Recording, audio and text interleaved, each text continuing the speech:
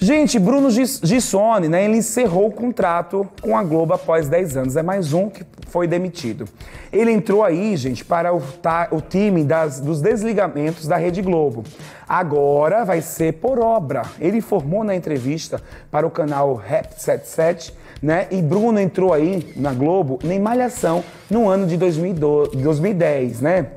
E aí participou de novelas como Avenida Brasil, Orgulho e Paixão, Babilônia, Em Família aí também, e A Dona do Pedaço. Então, o contrato dele não foi, ele vai, vai encerrar agora, né, no próximo mês, e não foi renovado, né? Então, que pena, né, gente? Que pena, né? Então tá aí, a Rede Globo tá tirando vários contratos, né? O SBT também tirando várias pessoas. É uma pena, é um grande ator. Acho que a Record vai chamar ele, sim, com certeza. Daqui a pouco tá fazendo aí as novelas da Record com certeza ele tem uns irmãos maravilhosos, lindos, né?